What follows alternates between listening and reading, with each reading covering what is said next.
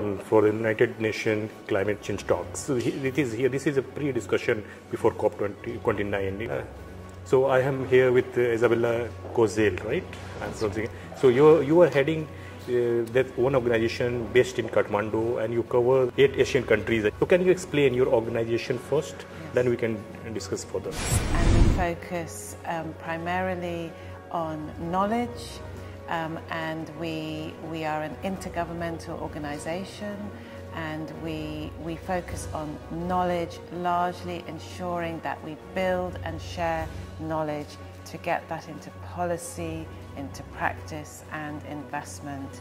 And our overall vision is to build a greener, more inclusive and climate resilient Hindu Kush Himalaya. We have about 200 people um, from all our eight countries and we focus on managing climate and environment risks, restoring and regenerating mountain livelihoods and landscapes, um, working to enhance regional collaboration, but also being present at fora such as these to ensure that the world is aware of the very difficult situation facing the Hindu Kush Himalaya because of climate change. The talks are important because they bring all the parties together and obviously there are many parties and so it can take time to reach consensus but the global consensus is important.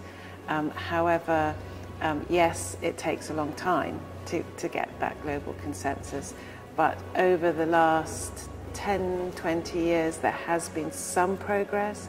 Many would argue it's too slow, but nonetheless, the global consensus is important.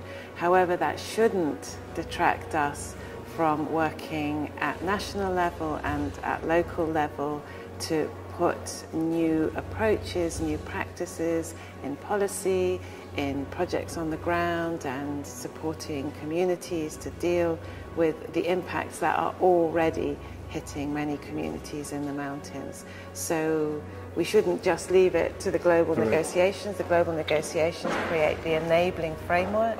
We also need to start working on the ground. And so our institution, we work at local, national, regional and, and global levels for that reason. You uh, deal with the people who are struggling with the basic amenities they don't have that kind of that climate change is the second priority for them. You know once they have the livelihood once they have their you know basic needs to be fulfilled.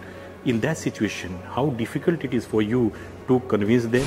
Well for communities who are still relying on agriculture right. um, that they care about climate change because they're 100% dependent on the weather right. and on natural resources, whether it's the irrigation water in the spring from the snow. So if snow falls late and doesn't thaw, then the irrigation waters aren't coming at a critical time in spring. So actually communities living in the mountains are very aware of climate change and how that's impacting them. So they want to act, they want to change. The challenge is, is that they're on the front line of these impacts and right. yet they have not contributed to global warming mm um, because they're amongst the lowest income yeah communities in the world. So they are powerless to do much about the root cause mm -hmm. of all these changes, and that is why it's so important to be present and to, to raise their voices internationally because the action has to happen outside of the mountains. I think the, uh, the, the, bigger challenge comes when it, it, it relates to national policy, national procedures, investments, of course, um, adjusting investment to be greener and more climate resilient costs more because mm. the enabling policy environment isn't there, the economic incentives aren't there, so that does create huge dilemmas for, for governments and for investors. So what we're trying to do in a very, very small way is to look at at least if you're putting in an investment in a mountain area, what might be the climate risks that will affect right. it. But this is really where, where the global community needs to be far more cognizant of these additional costs Um, and there is climate finance and there is substantial climate finance, but we're not getting it to the right places fast enough. And, and so, how could we more effectively leverage that climate finance to cover some of these extra costs of building a, a more robust bridge Right. or constructing your house um, in a more expensive area because it's less pr- flood prone? So, these are, are all costly exercises, and we need to find a way of bringing in the finance to cover those additional costs. And whilst the, in principle it's there, it's not getting to those who need it. where all those stakeholders are meeting and discussing their points. We are also apprehensive about how the outcome will be, and they only just think and they tell that why we should take burden of the Western mistakes that uh, we are suffering, and why we should follow if we are not getting the funded or supported uh, when we demand. So, how you see that African people are at the same page that what the Asian you see that being here in Kathmandu?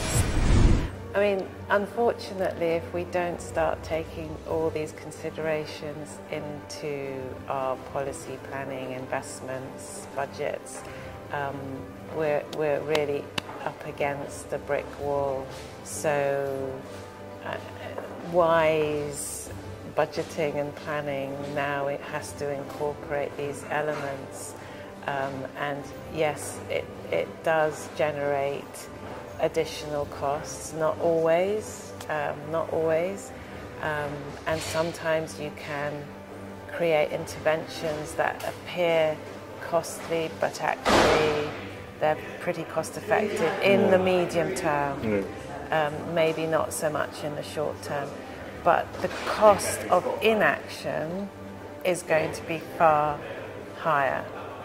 So, I mean, take a very simple issue which isn't really climate related, which is plastics.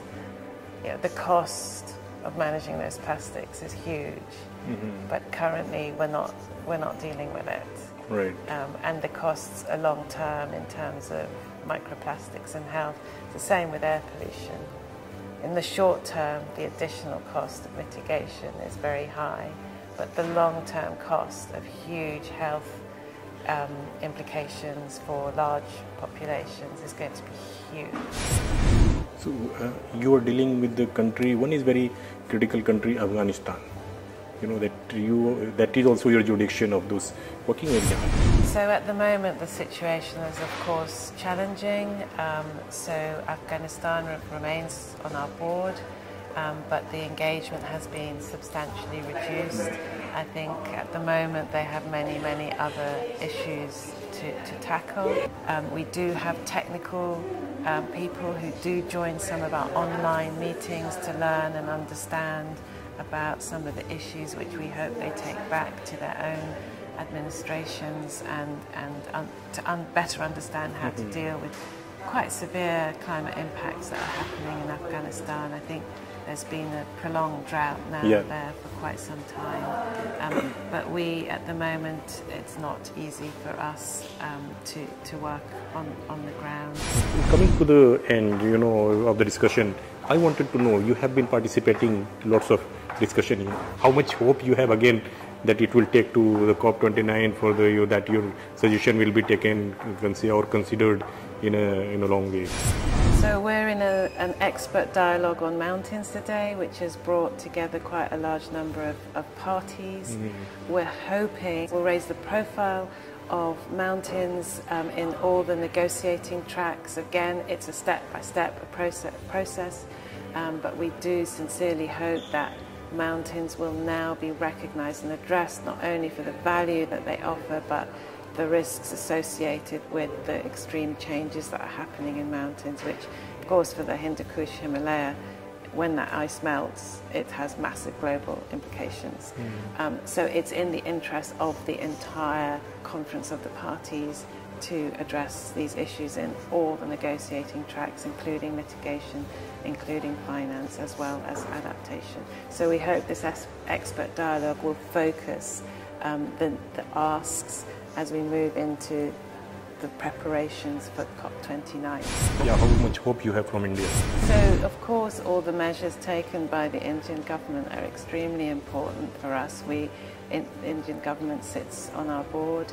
Um, of course, um, I know, we're very aware that, that the, the, the line agencies are very familiar with some of the risks facing the mountains. We were recently um, in Delhi talking to the Department of Land and Resources about their efforts around watershed management and how we can bring springshed management into mm -hmm. those huge mm -hmm. programs.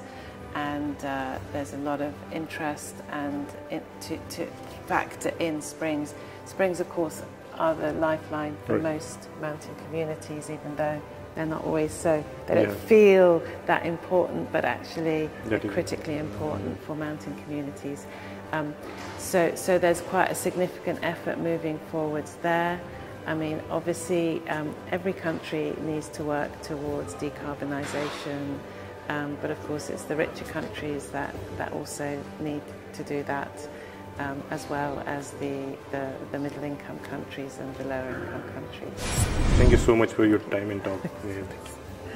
so this was a talk uh, with the expert from the Himalayan the Hindu Kush region and in India. They are working on the nature and conservation of the uh, things which is happening due to climate change and they are very much hopeful about this Bonn talk also from the COP29 to be taken, their suggestion to be considered.